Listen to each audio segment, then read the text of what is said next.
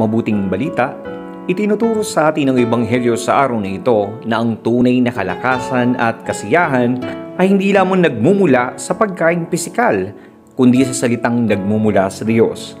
Ang Panginoon ay bukas sa lahat.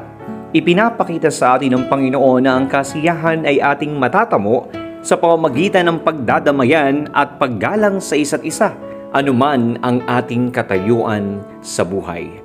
Amen.